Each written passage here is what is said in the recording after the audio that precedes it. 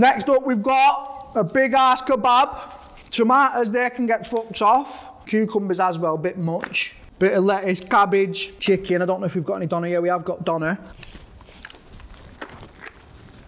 Messy, but fucking tasty. It's a big old bite, but it's fucking good. Can't lie. Bit too much cabbage. Fucking hell. It's a joke. Like, fuck me, mate. I can go fucking fishing with that lot. Right, I need to fucking clean up and have a bath after this. Not bad.